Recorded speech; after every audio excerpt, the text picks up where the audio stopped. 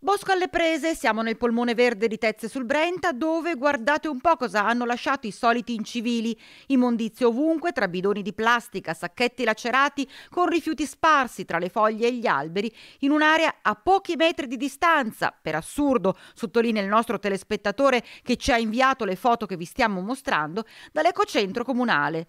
Questo, scrive chi ci ha contattati, per segnalare la mancanza di senso civico di alcuni cittadini.